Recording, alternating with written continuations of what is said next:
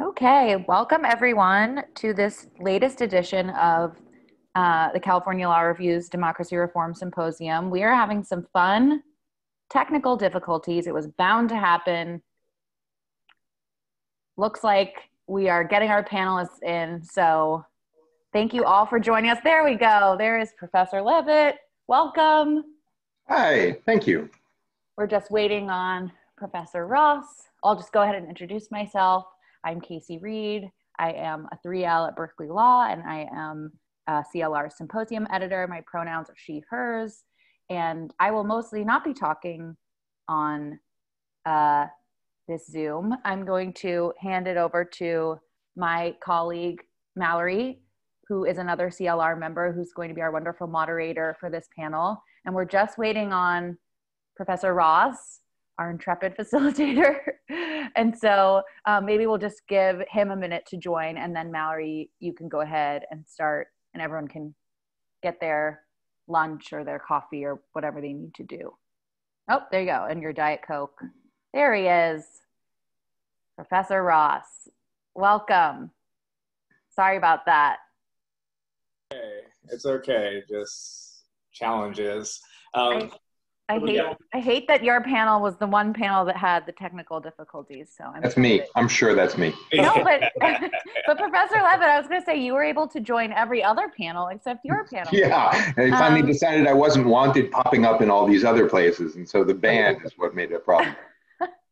okay, well, well, I'll just I'll just repeat myself really quickly. Um, I am Casey okay. Reed. I'm the symposium editor of the Law Review, and I am going to hand it over to Mallory, our uh, moderator, who's another CLR member. And Mallory is going to introduce our facilitator and um, go through just some of the logistics of the panel, and then we're off. So I'm going to go away now. Thanks, Mallory. Thanks. Thank you, Casey. So hi, everyone. We're going to go ahead and get started with the panel. This panel is called Principle 2. It's Every Vote Should Count Equally. My name's Mallory. I'm a 2L here at Berkeley, and my pronouns are they, them, theirs. Before I turn things over to our facilitator and our panelists, I kind of just want to let you know how this is going to work. At the end, we will have about 20 minutes left for a Q&A. You can submit your questions anonymously or ask them yourself. Also, this panel is going to be recorded and we will be sharing the recording on our website. So thank you for joining us. I would like to introduce our wonderful facilitator, Professor Ross. Professor Ross is the Chancellor's Professor of Law here at Berkeley Law, where he teaches legislation, election law, and constitutional law. His research interests are driven by a normative concern about democratic responsiveness and a methodological approach that integrates political theory and empirical social science into discussions of legal doctrine, the institutional role, role of courts, and democratic design. In the area of legislation, his current research seeks to address how courts should reconcile legislative supremacy with the vexing problem of interpreting statutes in contexts not foreseen by the enacting legislature. In election law, he is examining the constitutional dimensions and the structural sources of the marginalization of the poor in American political processes. Over to you, Professor Ross, to introduce our panelists and kick off the discussion. Thank you. Thanks so much, Mallory. It's great to see you. Um, it's great, great to see um, good friends Nick and Justin here um, on this panel and, and appreciate your taking the time out of your busy schedules pre-election season to join the CLR um, Law Review on this symposium. Um, I'm Bertrall Ross and, and I will um, start by introducing uh, the two panelists and then um, offer a brief couple of remarks and then kind of pass it over uh, to the panelists to um, engage the discussion. So let me start with Professor Justin Levitt, Levitt who is a professor of law and Gerald T. McLaughlin Fellow at Loyola Law School in Los Angeles Angeles. He is a nationally recognized scholar of constitutional law and the law of democracy. From 2015 to 2017, he took a leave from Loyola to serve as the Deputy Assistant General, um, Assistant General in the Civil Rights Division in the Department of Justice, where he was responsible for enforcing federal voting rights and employment discrimination statutes. In addition to being a leading civil rights advocate, Professor Levitt is a prolific scholar, having published in the Harvard Law Review, the Columbia Law Review, the Georgetown Law Journal, and the peer-reviewed Election Law Journal, among others. And finally, Professor Levitt created the website All About Redistricting that I highly recommend to everyone that is viewing this. Professor Levitt will be presenting on partisanship and redistricting. Um, the second panelist is Professor Nicholas Stephanopoulos. Nick is a professor of law at Harvard Law School, having recently moved from the University of Chicago Law School. Prior to becoming a professor, he worked on election law related issues at the on uh, such election law related issues such as issues related to the Voting Rights Act, while in private practice at Jenner and Block in Washington D.C. During that time in private practice, he also served as a volunteer attorney for the Obama for America campaign. Like Professor Levitt, Professor Stephanopoulos is a leading election law scholar, having published in the Harvard, Stanford, and Columbia Law Reviews, among many others. Professor Stephanopoulos is also actively involved in ongoing litigation, having produced briefs and supported and, and having supported litigation in the recent partisan gerrymandering cases, among others. Professor Stephanopoulos will be presenting on what it would mean to change the unit of apportionment from total population to citizen voting age population. Now, the topics that they'll be engaging are critical at this particular moment as we enter a new cycle of redistricting following the 2020 census. And um, based on um, a constitutional decision back in 1964 called Reynolds v. Sims, um, states are required to maintain one person, one vote in their districting practices, meaning that every vote should count equally. But as we've learned, it's for every vote to count equally, more is required than simply equal apportionment of districts. Um, we need to also think about how do we address problems of vote dilution, partisan gerrymandering, partisan dilution, among others. But there are still basic principles that go to basic issues that go to the one person, one vote um, principle that um, need to be addressed as well, such as what is the proper denominator for measuring population equality.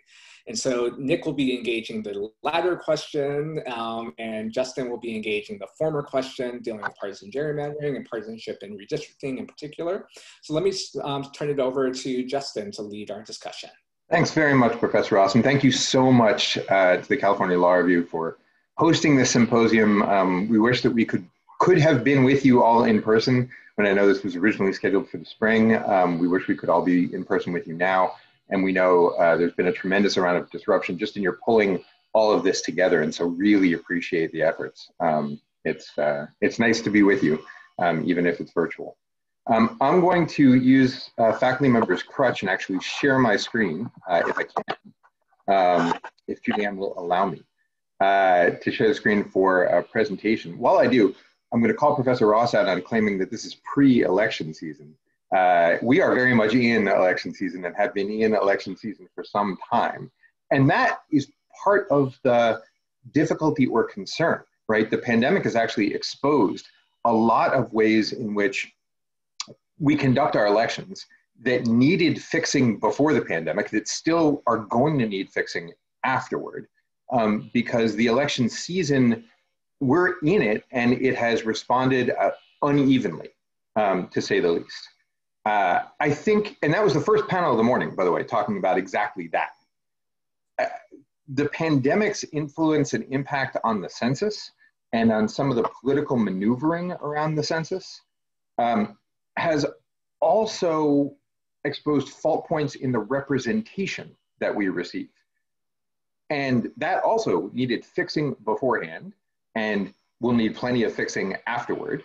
Um, both Professor Stephanopoulos and I, I think, have presentations related to that, related to the fault lines that have been exposed by some of the gamesmanship uh, going around around representational issues. Um, and with that, thank you, Julianne. I will hope that this actually uh, lets you all see a very pretty black slide um, which will be much prettier than me, which is why I've got a slide up. Um, so an enormous amount of the recent manipulation around the census and around the representation that we receive generally is designed for partisan gain, to reward partisan friends and punish partisan enemies. Where the lines themselves are drawn, and we're learning the very data used to draw the lines are subject to deep partisan distortion. That's a real problem. It's of deep interest, of course, to partisans who are on the wrong side of that stick. So, for example, in North Carolina, in 2008, the presidential election was about as razor thin as it could get. In 2012, it wasn't much more of a disparity. Um, the Senate race in 2014, 47% to 49%. The 2016 governor's race, 49% to 48.8%. North Carolina is purple, deep purple. And I've shown you the 2012 uh, presidential results by precinct to show you that it's purple across the state. There are pockets of red and pockets of blue. This actually undersells how purple North Carolina is because this is based on geography and not people a big part of the problem with any map that's not a cartogram. Um, so what this shows is distorted a bit. You've got to expand the really narrowly clustered blue bits and expand the really narrowly clustered red bits to know how purple North Carolina is deeply throughout the state, which is to say, it's possible, plenty possible, to draw districts that reflect the partisan alignment in North Carolina. That is not what North Carolina chose to do. In 2016, as Nick knows painfully well, uh, I'll get back to his role in all this in a second, not in creating it and fighting back against it. Um, the Republican committee chair said, I propose that in this purple state, we draw the maps to give a partisan advantage to 10 Republicans and three Democrats. Why? Because I don't think it's possible to draw a map that's 11 to 2. Right? That's the overriding instinct. And if you're a Democrat on the other side of that, this partisan impulse feels painful. P.S. This is not just a Republican problem. You go back to Texas in the 90s moving into the 2000s, and you see both parties doing it to each other. First, an egregious de- Democratic gerrymander, uh, gerrymandering Texas, and then an egregious Republican gerrymander responding. Um, those two wrongs don't make it right. Each opposing partisan actor uh, felt that they weren't receiving representation based on the way insiders drew the lines for partisan purposes. But I want to be abundantly clear. This discussion of how ingrained partisanship is and how troublesome it is does not just affect people based on their partisan identity.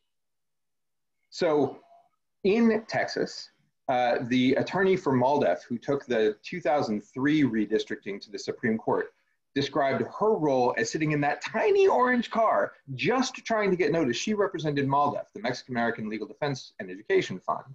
And she was trying to pursue just representation on behalf of her Latino clients, feeling like she was, her description, a tiny little VW bug between two giant partisan semis. And sitting in Los Angeles, uh, a Ninth Circuit case in the 90s recognized that elected officials engaged in the single-minded pursuit of what they called incumbency, I'll say partisan advantage has the same trait, can and often do run roughshod over the rights of protected minorities. So the massive impulse to secure partisan advantage is not only doing opposing partisans harm, it's running through everything else. It is in some ways limiting uh, the representation of communities of color, regardless of what party they favor. It's also true that if you're drawing districts purely for partisan purposes and ignoring everything else, or at least putting everything else as second choice, then what that does is create districts that don't have real communities at their core, where the only thing the voters can evaluate is whether their representative is a D or an R. That is, there's nothing else for the voters to hold their representatives accountable for. Because if the only reason the district has been drawn is to produce a D or an R, and there's no other sense to the communities that are being represented in the district, the only option come election time is say, yep, that's a D, or yep, that's an R. There's no other way to hold your representative accountable. That is, unfortunately, the status quo and has been for quite a while. There have been a few fights over the past couple years to push back against this status quo in federal courts, in state courts, in explicitly changing the rules in uh, state constitutions um, or in state legislation, usually through ballot initiatives. Um, Nick was one of the leading lawyer scholars involved in at least two of these cases and, and a whole bunch more uh, in Wisconsin and then in North Carolina. There had been a string of success from about 2016 through 2019. And Nick, I'm sorry about this. I know this one's painful. Uh, of federal courts recognizing that this abundant, this egregious partisanship was a real problem. Unfortunately, the tale ends badly. In 2019, last year, the Supreme Court said that partisan gerrymandering claims were non justiciable in federal court. is actually worse than that. They said, not only are we not going to adjudicate these matters, but in a little bit of incredibly harmful dicta, they also said a little bit of partisan manipulation actually seems just fine to us, seems constitutional to us. And that is, as far as I can tell, outside of um, a very small wing of political patronage cases where high level uh, policy appointees can be appointed based on their partisanship. That is the first time that the Supreme Court has said outright the Constitution makes it okay for the government to punish you based on what party you belong to, at least if it's only a little bit. So, needless to say, I think this outcome was dead wrong. I'm pretty sure Nick joins me in that. Um, the fight has now gone to state courts, uh, and state courts have picked up the ball a little bit. State courts last cycle in Florida and in Pennsylvania, and then eventually in North Carolina, held that it was unconstitutional under the state constitution to draw extreme partisan gerrymanders. There will be more of these. More state constitutional fights are coming. There have also been efforts in ballot initiatives, direct democracy pushing back against this. You heard Professor Daniels this morning mention work at the state level with respect to casting a ballot. The same is true with respect to representation. Some of these changes uh, change the structure of who's drawing the line, so they try to put control in the hands of a more independent or more bipartisan body, or they impose supermajority requirements to try and guard against purely partisan mischief. Um, some of these models also write explicit rules against partisan gerrymandering into state constitutions or state legislature. Um, most of those take the characteristic of or, or look like prohibitions against undue partisan gerrymandering. That is, don't speed too much. Some of them actually affirmatively uh, talk about it in terms of an optimal speed. Rather than saying don't speed too much, they say we want you to be going exactly 45 um, or as close to 45 as you can get. They build in affirmative measures for partisan balance uh, and or in some cases competition in districts. There are a number of diverse proposals for how to deal with this partisanship problem. But if I'm following yesterday's lead, and this will be quick, uh, another five minutes of presentation because I want to give Nick uh, time to present and then I really want questions. If I'm following yesterday's lead in the exhortation to be bolder, to think about a 21st century, a change in the way that we conduct representation, I think all of these are second best protections.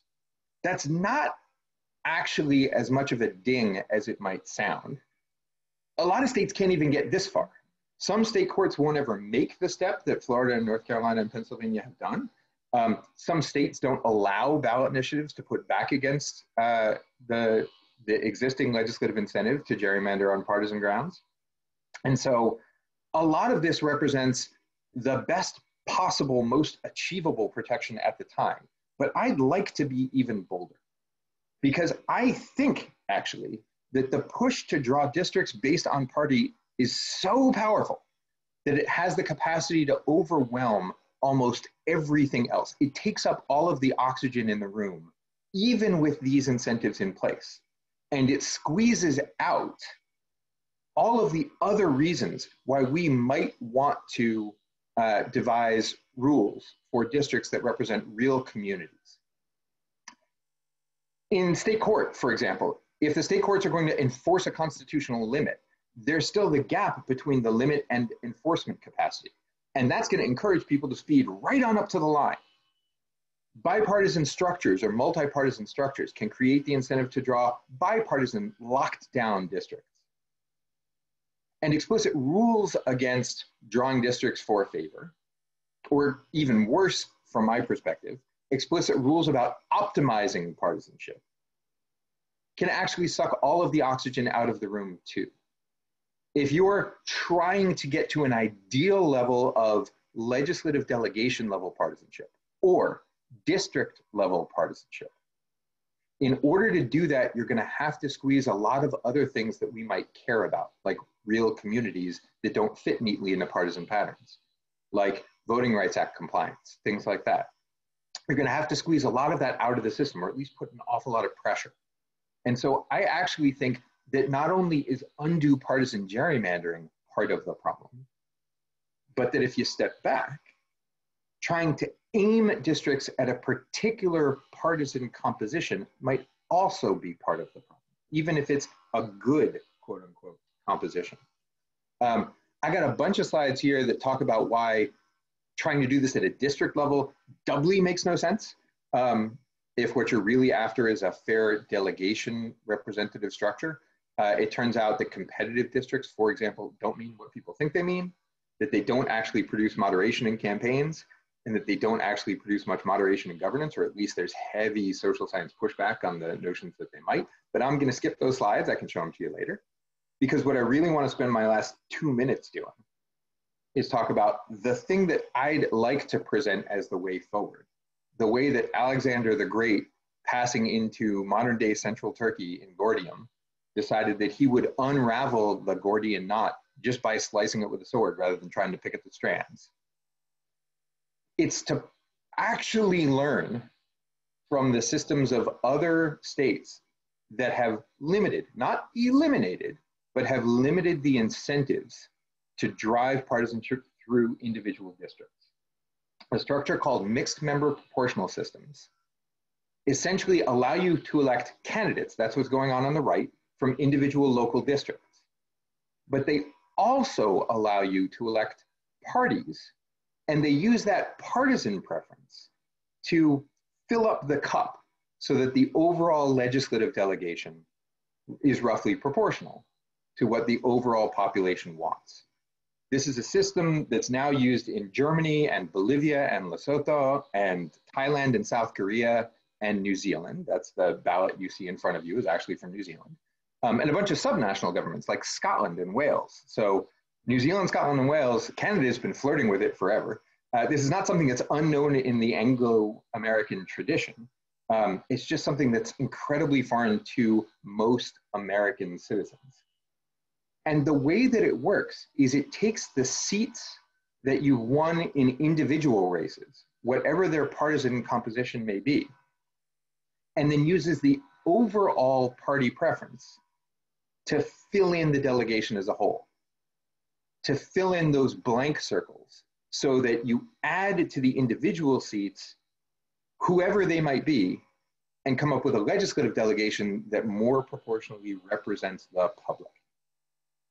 Um, this is not a panacea, it's not perfect, but it's something that we've sort of lost in terms of muscle memory in thinking about as an option for the future. The path from here to there is hard. And I am not suggesting that this starts with Congress or even with large state legislatures. But it should be on the menu for discussion, I think. And it should be something we can seriously contemplate giving voters experience with in local elections, particularly local elections that are partisan local elections, which is not everywhere, but is still a bunch of places. This might help take some of the gas out of tailoring every district to respond primarily to partisanship so that we can actually draw districts that take care of all of the other things we also care about without sacrificing the enormously strong partisan impulses we have. And with that, I've babbled on for longer than I wanted to, so I will turn this, I will stop sharing my screen and share my time with Nick. Great. Thank you very much. Uh, uh, Justin, thank you to the California Law Review for organizing this uh, terrific symposium uh, under the most difficult imaginable circumstances. Uh, I'm in awe of uh, all your hard work in, in piecing this together, and I thank you for that. Um, thanks, Justin, for, for reopening some old wounds in the, the Wisconsin and North Carolina partisan gerrymandering cases. Um, well, I really do applaud Justin for calling our attention to uh, mixed member proportional systems. Uh, these days, the reformer focus has been on uh, multi-member ranked choice districts, uh, which I think also have a lot to commend them. But uh, I don't think that they are, you know, clearly and obviously uh, the best alternative approach to the status quo. Um, and I think that MMP systems like New Zealand or the German system have a lot in their favor as well. And so it's uh, uh absolutely uh, uh belongs uh, on the agenda. Um, let me now uh, share my own screen, uh, as, as law professors are wont to do. Uh, so I'm going to be talking today uh, about what might be the most dramatic redistricting development of the next redistricting cycle, which is a uh, potential switch by certain states in their unit of apportionment uh, from total population to citizen voting age population. Uh, just so we're all on the same page, when I refer to the unit of apportionment or the apportionment base, uh, I'm referring to what it is that is equalized in numbers uh, from one district to another. Uh, we know that something has to be equalized under the one person, one vote rule. Uh, the question is what that something should be. Um, until now, it's almost universally been total population, uh, persons who have been equalized. Uh, there's now a possibility in the next cycle that uh, certain states will begin to equalize citizen voting age population or CVAP uh, instead. And so this is a co-authored uh, project with Jowei Chen, who's a political scientist at the University of Michigan, uh, on what the potential consequences of switching the unit of apportionment might be. Uh, we'll look at the potential consequences for both minority representation and partisan representation.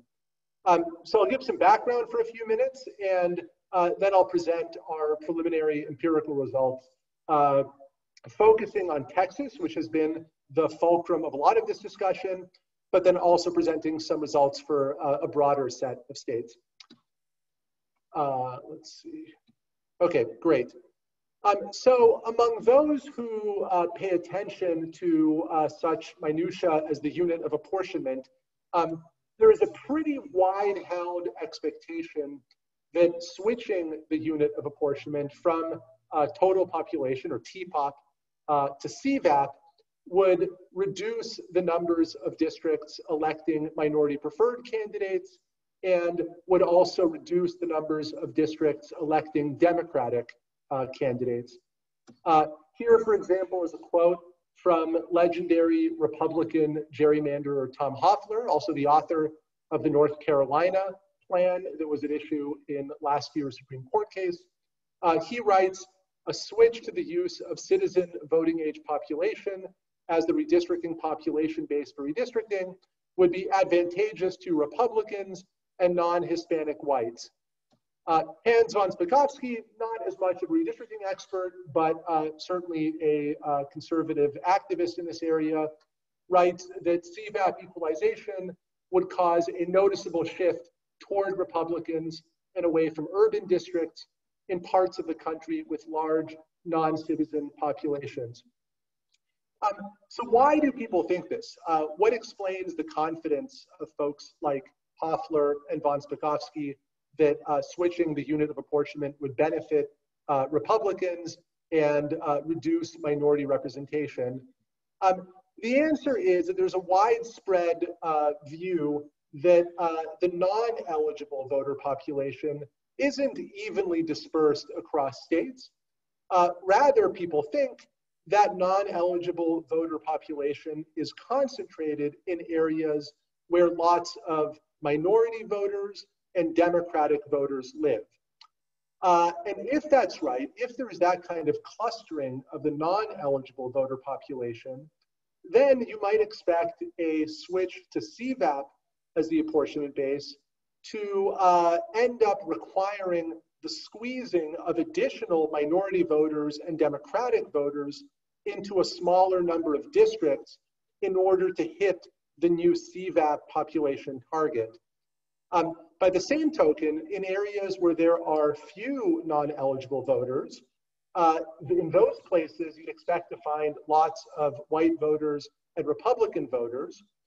Uh, and so with, with CVAP, rather, rather than with total population targets, you would expect those white and Republican voters to be more efficiently dispersed across more districts, controlling more districts. So this is the dynamic that's hypothesized by folks like Hofeller and von Spakovsky. Uh, you know, without necessarily attributing motives to them, I think it's why they uh, actually advocate for a switch from TPOP to CVAP redistricting. I think it'll benefit uh, Republicans uh, in particular. Now, to be fair, there uh, is at least one serious non-partisan, non-political uh, rationale for switching the unit of apportionment. Uh, it's a theoretical commitment to what I call here the theory of equal voter power. Uh, you see a quote from Wesberry v. Sanders that seems to endorse this theory. As nearly as is practical, one man's vote is to be worth as much as another's vote. Um, the idea here is that every voter ought to be equal in electoral influence to every other voter. Uh, it shouldn't make a difference with respect to voter power, whether one lives in this district or that district. Uh, and so equalizing CVAP, which is a reasonable measure of the eligible voter population, uh, is thought to be a way to vindicate this value of equal voter power. Now, note that the equal voter power uh, theory does not occupy the field. This is a highly theoretically contested area.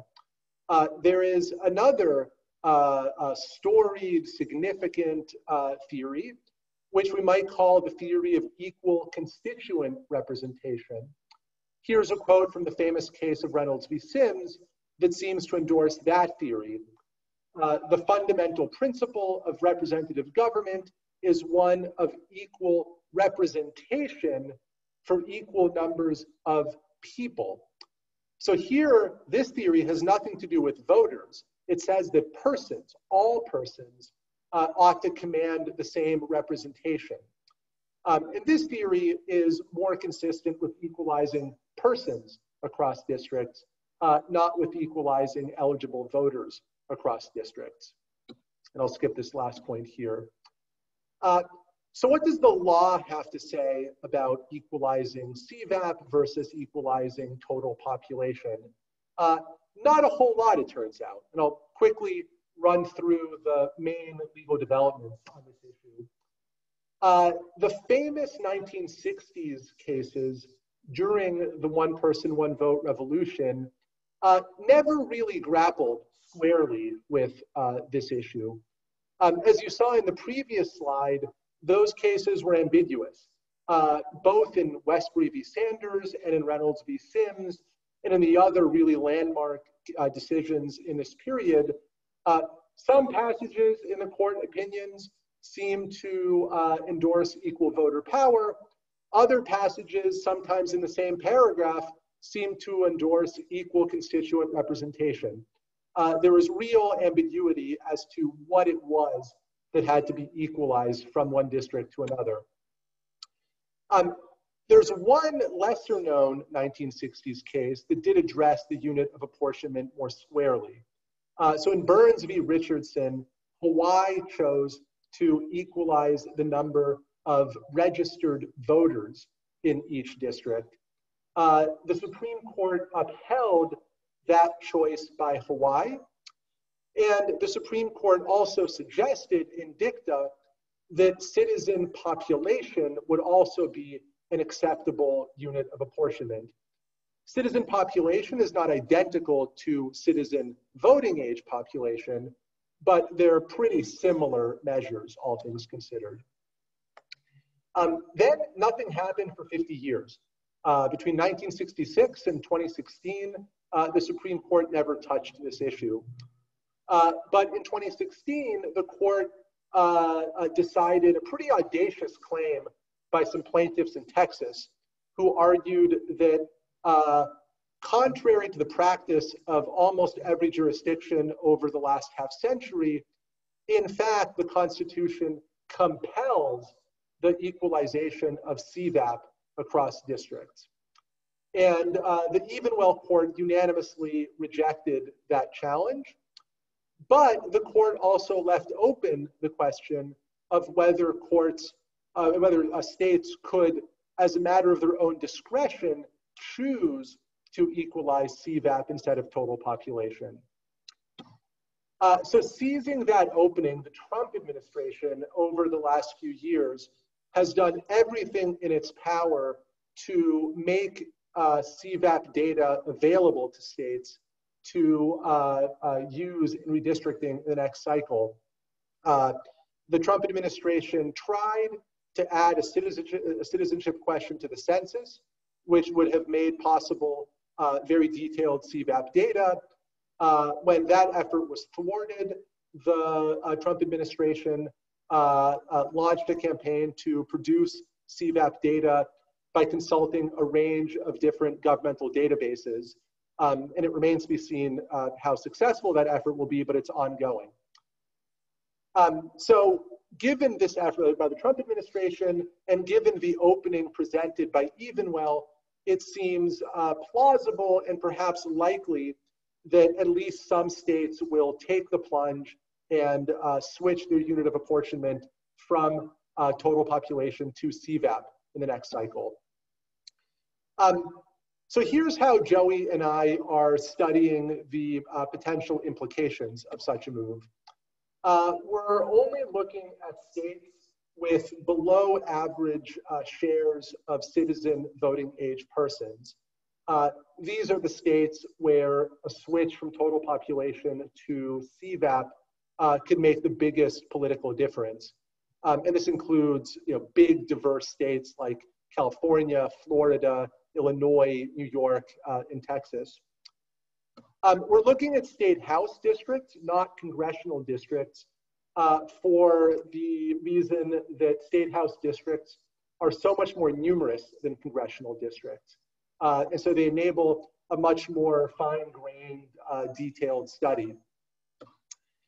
Uh, and our basic approach is to use Jowei's uh, computer expertise to simulate large numbers of equal TPOP and equal CVAP maps for each state in our uh, data set.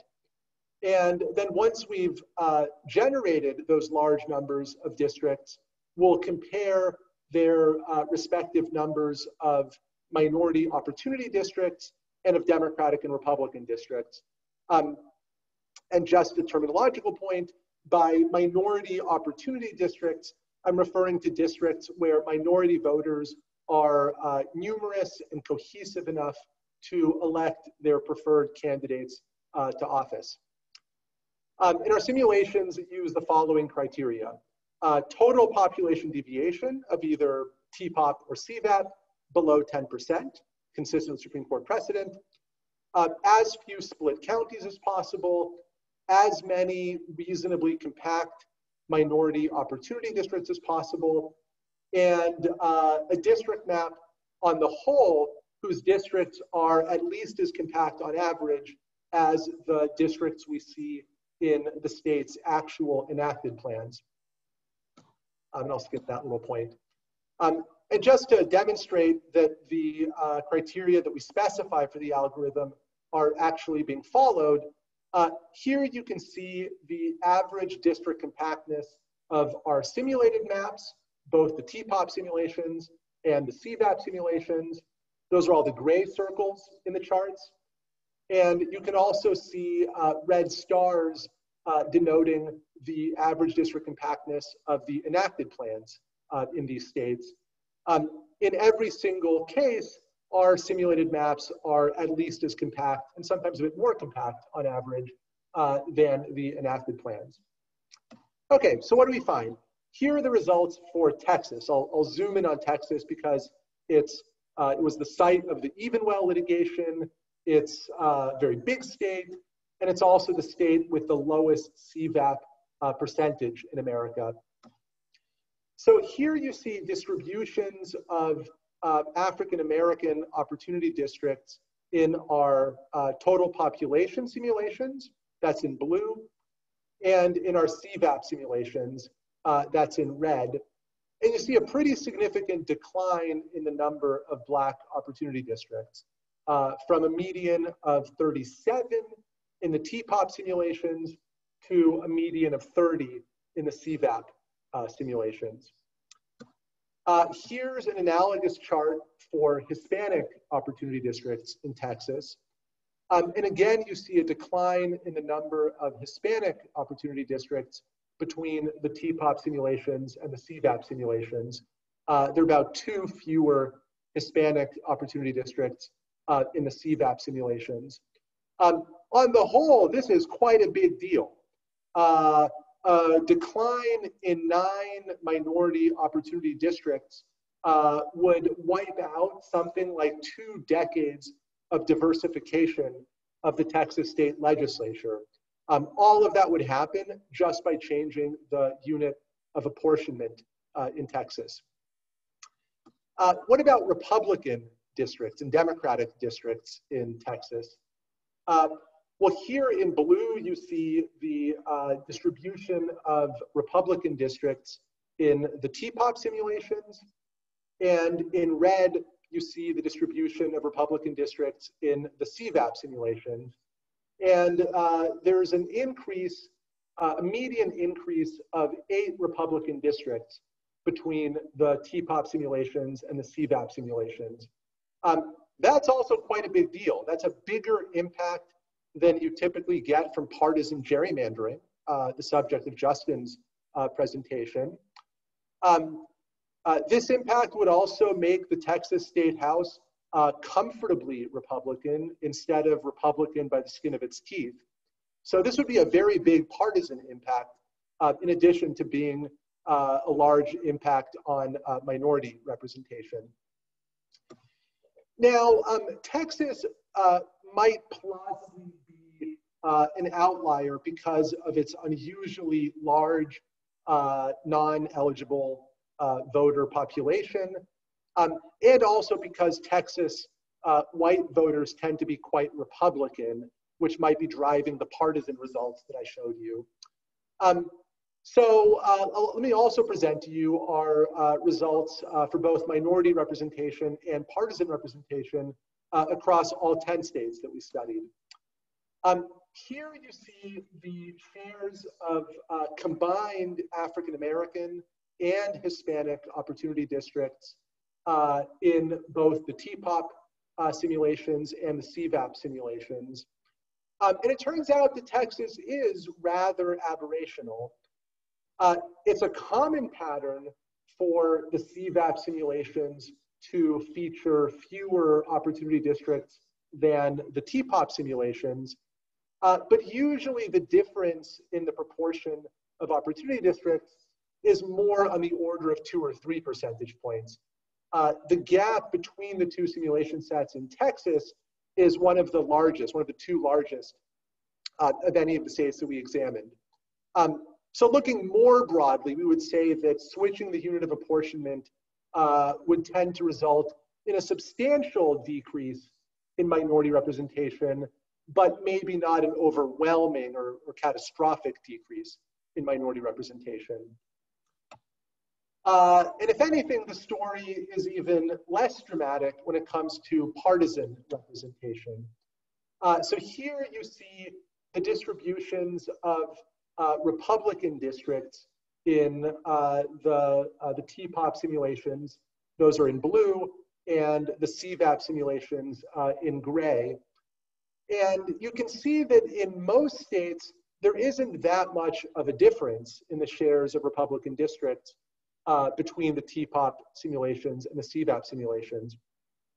Um, Texas, again, stands out in that there's a, a significant difference between the two simulation sets. Uh, but in most other places, the Republican advantage is uh, small or even non-existent, you know, one percentage point, uh, give or take. Um, so just to summarize the takeaways, with respect to minority representation, changing the unit of apportionment across all these states would result in a substantial but not a huge decrease in minority representation. Um, certainly, it would have less effect than dramatic earlier legal and political developments like the enactment of the Voting Rights Act or the Supreme Court's interpretation of the Voting Rights Act in Thornburg v. Gingles um, or the diversification of American society. Uh, switching the apportionment base would not be on the same level as those uh, really momentous earlier developments. With respect to partisanship, it's even less of a dramatic story. Uh, in the median state in our study, uh, switching the unit of apportionment would only result in one percentage point more Republican districts. Uh, that's quite a small increase. It's quite a bit smaller than the usual boost that the line drawing party gets from deliberate partisan gerrymandering. Uh, but this overall picture masks uh, some very different results in uh, Texas, most notably, where uh, the consequences of switching from TPOP to CVAP would be quite dramatic, both for minority representation uh, and for partisan representation. Um, last little thing that I'll uh, shut up and yield the floor for questions. Um, Jowei and I are working on a couple more analyses uh, as part of this project that I'll just flag right now, but we're not uh, actually finished with them. Uh, one is to um, respond to the critique of this analysis that our redistricting algorithm here has been a nonpartisan algorithm, but in reality, as Justin pointed out, uh, many map makers are uh, staunchly partisan. And so we're rerunning uh, all of our analyses of minority and partisan representation uh, while emulating the behavior of a Democratic or Republican gerrymanderer. So for these analyses, we're instructing the algorithm to do everything else we told it before, but also maximize the number of Democratic or Republican districts. Um, and we'll see what happens then to uh, the, the consequences of switching the unit of apportionment. Uh, the other ongoing uh, analysis of ours is to uh, determine whether it's possible to simultaneously equalize total population and CVAP across the districts in a map. Uh, some mathematicians have shown that uh, in theory, this is always possible with contiguous districts. Um, however, the mathematicians only considered contiguity as a constraint on the districts.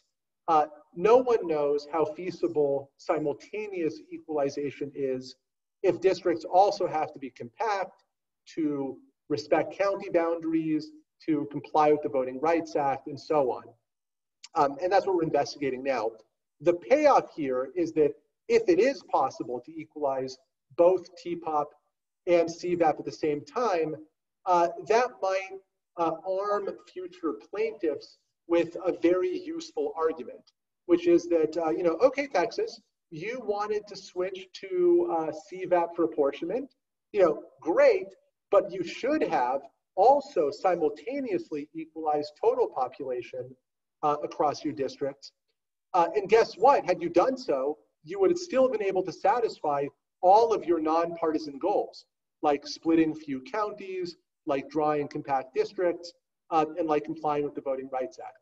So we don't know yet if that payoff will be there, but uh, if simultaneous equalization is possible, uh, that's the, the potential legal payoff. Um, and I'll stop there. Thank you very much. Great, thank you, Nick. And we have um, several questions in the queue. And again, I invite everyone that's in the audience um, to add their questions to the Q&A part of the uh, Zoom platform. But I want to start with just a question for both, um, one directed at Justin and one directed at Nick. I'll start with um, Justin um, in your mixed member population uh, proportion districts. And um, you describe it as a means to reduce the incentives to tailor districts in a particular way partisan advantage. But I guess a lot of people are concerned about what underlies that tailoring for partisan advantage and is the concern about partisan polarization.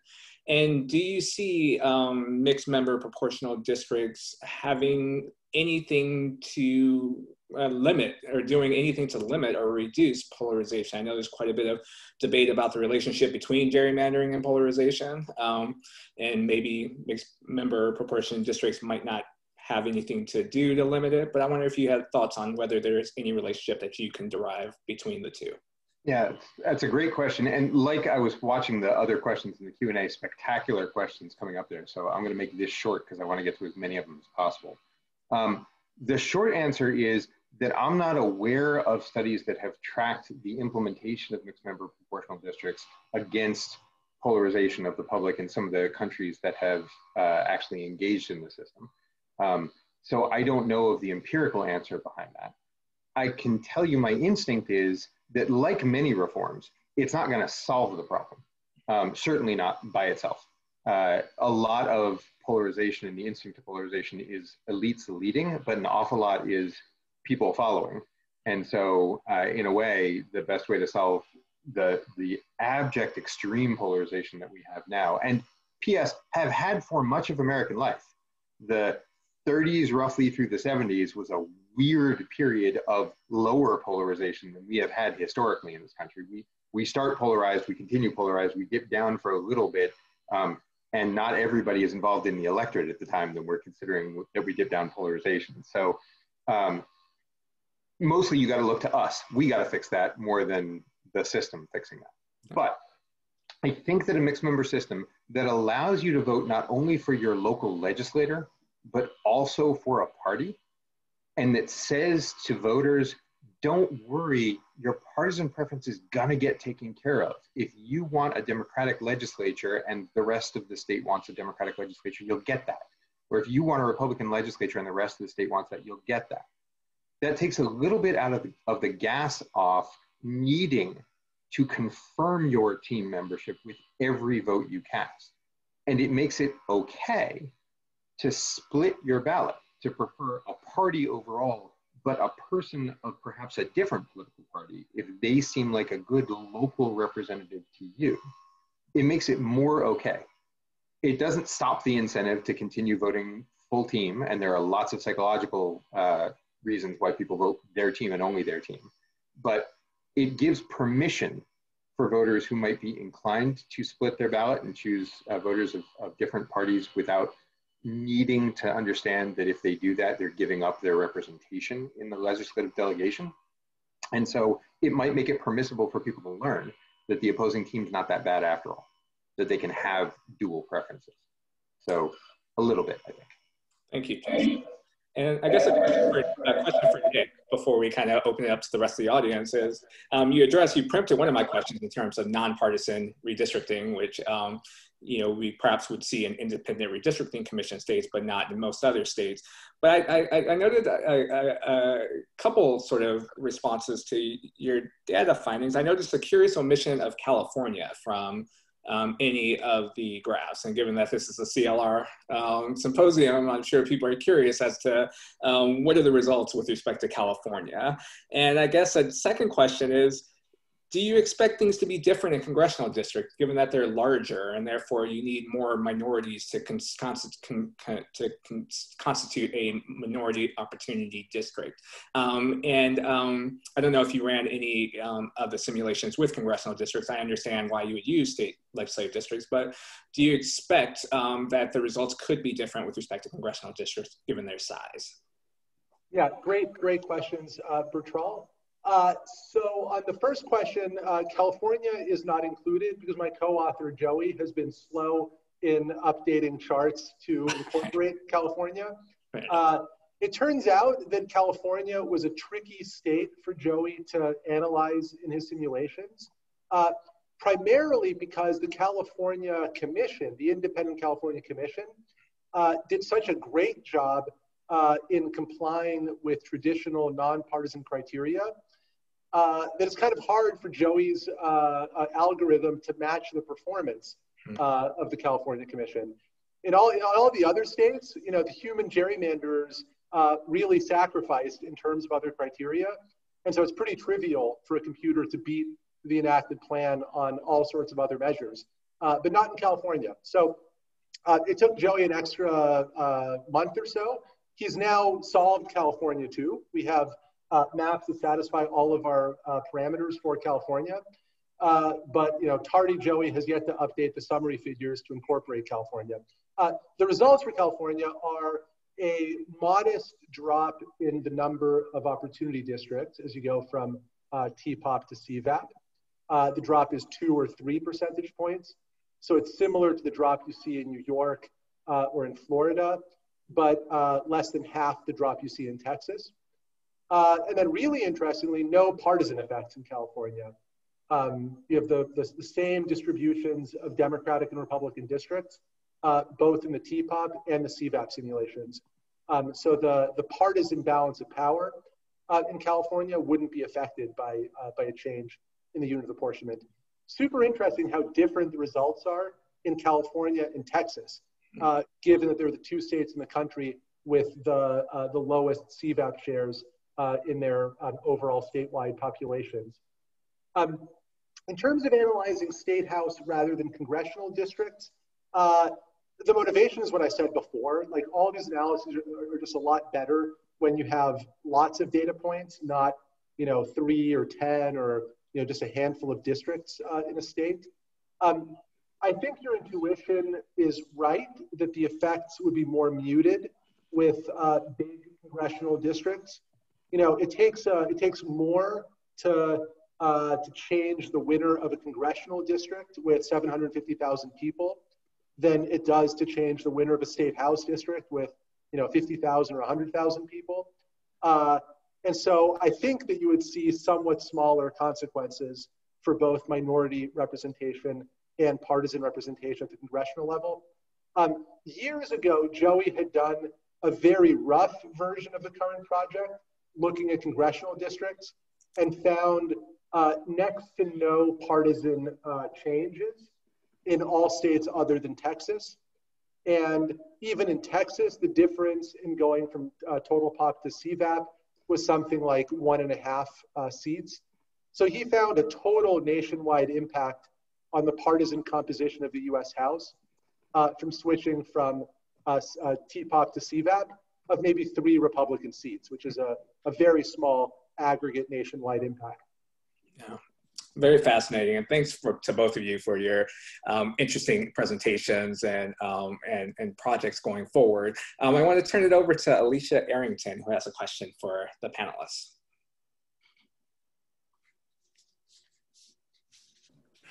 Hi. Um, thanks for answering the question and, and, thank you guys for your presentation. Um, My name is Lisa Harris. That's my daughter. Um, she does that every time.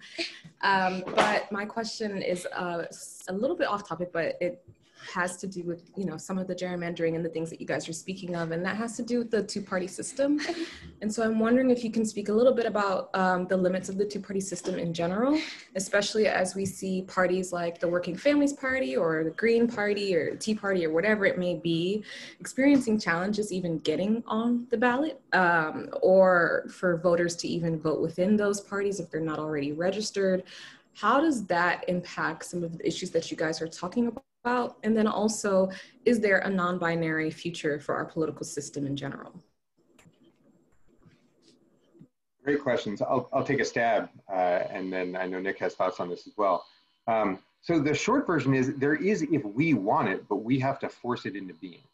Um, there was a different sort of alternative reform move uh, called fusion voting that was in place in large parts of the country uh, decades ago, and it's still in place in New York, but I think I think at this point only New York. It's a procedure that allows you to vote, that allows can that allows parties to put their name on the same candidate. So you can have somebody who is the Democratic Party candidate and also the Green Party candidate or also the Working Party candidate. Um, what that does is it allows people to cast a preference for a political party without worrying that they're sacrificing the effectiveness of that vote for somebody who might actually win a plurality. Um, that's one way to do it. And that actually produced reliable sort of tallies when somebody got elected as a Democrat. They knew, am I getting my support from old school Democrats or am I getting my support from working family member parties? When they're elected as a Republican, am I getting my support from Republicans or am I getting support from conservative or libertarian party members? Um, Earl Warren in California. California had fusion voting, and Earl Warren was the Democratic and Republican nominee for governor. He won with something like 90% of the vote. Um, was also directly after his time as Attorney General during Korematsu. And so a lot of controversy about whether uh, it was despite that or because of that. But there was fusion voting then that allowed multiple parties to combine without sacrificing their individual efficacy. That's within the current system, building minor party representation. The multi-member system I talked about is one other way, right? If you can vote for a candidate but also a party, you might choose to vote for your local candidate who you know might be a Democrat or Republican, but also vote for the Green Party or also vote for the Working Families Party. Or your local candidate might be a Green Party member, but you prefer the Democrats to have X representation in the legislature. So that's another way to let other third parties come into the system. Um, and you can set thresholds for what it takes to get legislative membership at whatever level you want. Really low thresholds mean lots of parties. Higher thresholds mean fewer parties. Um, there are other choices like ranked choice voting that similarly allow you to pre party preferences. They let you rank your choices. Number one, number two, number three, number four. And if your first choice doesn't work out, your ballot may still count for second, third, or fourth choice that lets you vote your party preference without costing you an effective vote in what turns out to be um, a, a, a, functionally two-party system. Those are all different ways to let minor parties blossom, to let third parties blossom. The Supreme Court, unfortunately, has said states can shut any or all of those down whenever they want in a truly misguided decision out of Minnesota. Um, if you ever want to see a really horrific uh, grade school misreading of the Federalist Papers. Um, read Timmons versus the Twin City uh, New Party. And Timmons essentially takes James Madison's uh, urging against the mischief of faction, which meant don't get too dependent on parties, their problems, and converts it to it's really a problem when we have more than two parties, but two parties are great it's it's a horrible historic reading, um, but it essentially lets states wipe all of those plans off the map if they want. So the short answer to is there a way to break open the two-party duopoly, the really monolithic two-party duopoly a little bit? Yeah, if we force it to happen at the state level, it's available. Um, it's just that the entrenched powers don't tend to see that in their interest. Um, I just have one little note to Justin's comments, which is that you know people often uh, look to electoral to solve all sorts of social and political, problems, and usually the electoral rules aren't up to it. If you want to solve polarization, if you want to solve the influence uh, of the wealthy, uh, you're not going to do it with uh, with different electoral rules. It can help, but they won't really solve the, the, the, the core of the problem. Um, the number of political parties, though, really is a function of the electoral rules in place. Uh, if, you if we adopted uh, uh, the, the, system Justin was talking about, mixed member uh, proportional uh, voting, um, we would have a multi-party system uh, tomorrow. if we adopted multi-member districts with ranked choice voting, we would have a multi-party system tomorrow. So, you know, unlike many other intractable issues in our society, uh, the number of political parties is uh, easily manipulable if you change electoral rules.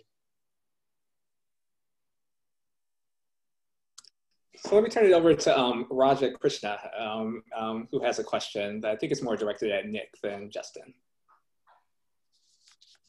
Uh, yes, um, Professor Stephanopoulos. Um, I was wondering, um, how do you define a minority opportunity district?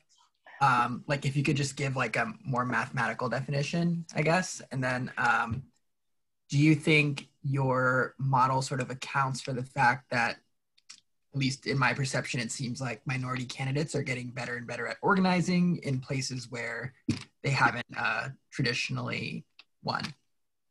Great question, Roger. I had the same question. Thank you.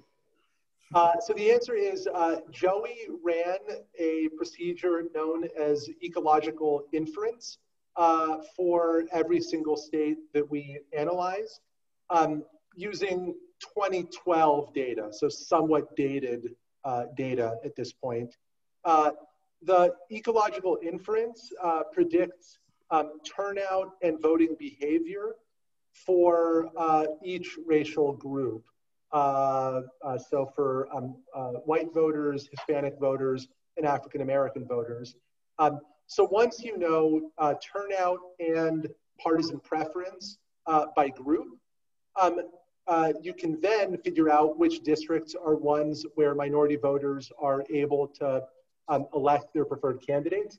Uh, specifically, uh, our definition was that uh, the minority preferred candidate has to prevail, and uh, minority voters have to outnumber, minority voters supporting that candidate have to outnumber white voters supporting that candidate. Um, and if two different minority groups, so African Americans and Hispanics here, have to be combined to outnumber the, uh, uh, the non-minority supporters of the candidate, then you have to make sure that the black and Hispanic voters have the same partisan preference. You can't be combining, for example, uh, Cuban Republican voters with uh, uh, uh, black Democratic voters in Florida. Um, so that's our definition. Note that we didn't use the crude definition of a 50% minority district.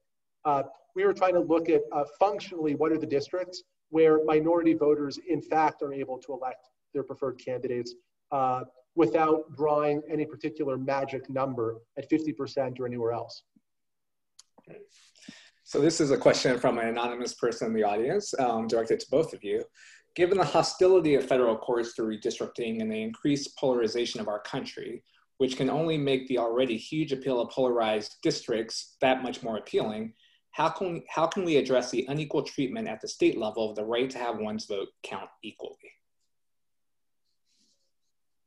So we're both talking about this issue, I think, um, and ours are not the only solutions. Uh, it takes, I, I think Nick pointed to this before, there are limits to what any individual electoral reform can do. There are also limits to what state courts will impose. Um, but there are relatively few limits to what people can organize. Uh, it is hard to get a ballot on the initiative, to get initiative on the ballot and to push it through to completion. And there have been, by the way, court pushback this year to at least three or four initiatives aimed at redistricting reform. Um, courts in three or four states have kicked those things off of the ballot. Uh, so I am not pretending that it is an easy mark, but it is possible. Um, similarly, legislative reform, um, if you got to go through the legislature, takes a lot of shoe leather. It takes a lot of footwork, but that too is possible. And using timing to your advantage can really help here. So one creative solution that happened in New York, I think, and we're going to see how this all plays out, um, was that in 2011, the people convinced Governor Cuomo to let the legislature have one last party, but at the same time to cut off their ability to gerrymander, at least anywhere near to the same degree, 10 years in the future. And one thing that I, I think anybody with any sort of political science uh, inclination knows, the, the, the, three other members of the panel certainly can verify. Um, the vast majority of state House members and state senators all think that they're going to be governor or US senator or president 10 years from now. Nobody thinks they're going to ever have to deal with a district again. So they are more willing to trade away the future of somebody else's problem than their district tomorrow. And Governor Cuomo used that leverage to say, you get to draw your districts this time, but you got to give me reform next time, or I'm going to veto anything you do. Um, he only did that because people demanded it of him. And so the short version of that is it's hard to look to the courts for assistance. Um, both the courts and the legislative structures are easier when you've got real large scale mobilization on your side. And that's hard. And I'll, flag one, one more route for reform, uh, which may open next year, uh, would also be federal legislation. Um, so a lot of these problems uh, with, with redistricting and, and gerrymandering uh, are within Congress's power to, uh, to address. Uh, virtually all problems having to do with congressional redistricting, Congress could largely resolve uh, with, with legislation. Um, I think Congress also has enormous power with respect to state legislative uh, redistricting abuses, both uh, partisan and racial. Um, that's a little bit more uh, contestable, but uh, you know, I, I, think that also would be an argument worth having uh, down the road. Um, so I think it's, it's really significant in my view that uh, the very first bill the Democratic House passed in uh, 2019 was H.R. 1, which would have mandated really good independent commissions for uh, designing congressional districts in every single state. You know, certainly no chamber of Congress had ever done anything like that before H.R. 1. Uh, so if Democrats were to retake uh, uh, control of all three branches, uh, all three, you know, Congress and the presidency next year, um, I think it's you know not certain but plausible that something like HR one would be high on the Democratic agenda, uh, and if enacted, uh, would be so much more potent than state by state initiatives and legislative battles and uh, and litigation um, would be even more potent than Supreme Court victories in the cases that I uh, helped to litigate. You know, all courts can do is strike down some of the worst outliers. Congress can affirmatively prescribe uh, visions of fairness for states to follow in redistricting. And you know, HR one did that. If something like HR one becomes law, uh, that would transform congressional redistricting and maybe all redistricting overnight. I'll add one tiny thing to that, which is Nick's absolutely right. Um, don't assume that just because you elect people who promise something in the past that they'll deliver on that promise in the future. Um, we saw that in Virginia.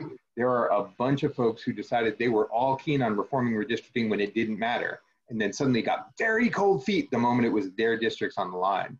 What that means, though, is engaging your representatives. And this is good practice, good hygiene, regardless.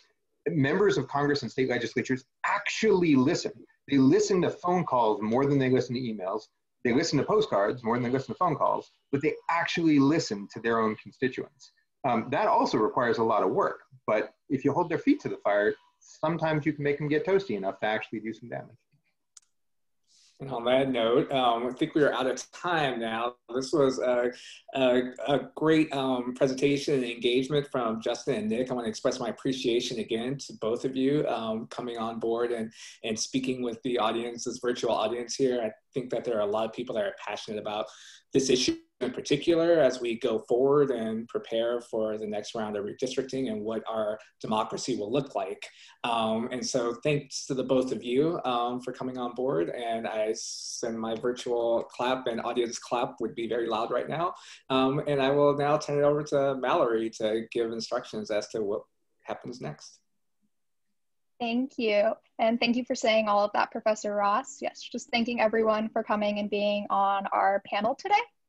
I would just like to refer the audience members to bit.ly forward slash CLR Symposium 2020 if you'd like to register for any other panels, come listen to some of our other great panelists, and to follow the conversation on Twitter at hashtag CLR Democracy Reform. Thank you for coming, everyone. And thank you to our panelists. Thank you. Thank you all. Have a great weekend. Thanks, everybody. Stay safe. Thanks. Take Bye. care.